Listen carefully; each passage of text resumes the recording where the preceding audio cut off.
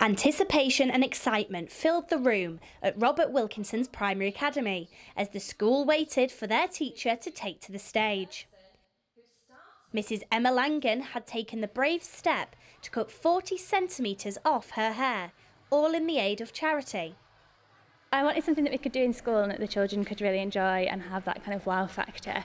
Um, and I had read that the Little Princesses Trust struggle to get really long hair donated um, to make wigs of a certain length for the children that want longer hair. Um, so I had long enough hair, so thought it'd be a good thing to do. Macmillan Cancer Support is a cause that is close to Emma's heart.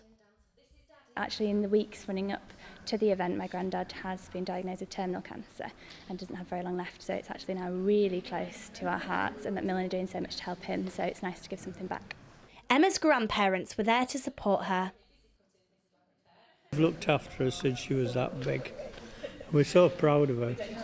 I've watched it grow all these years and now it's all going to be chopped off all her curls because she's got lovely curly hair like me. Pupils at the school were nervous to see the end result. From the first day I met her on our training day, I've only, I've only ever known her with like a bun on her head. So it's going to be weird with her just having a short hair instead of a bun. Quite good that she's doing it for such a good cause because obviously it's cancer and everyone, lots of people get it even though it's not their fault as well. So as long as because she, she's doing it for a good cause, it's quite exciting having her as a year six teacher.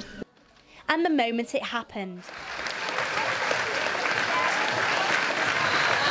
Has raised nearly £900 and certainly won't need to be going to the hairdressers anytime soon.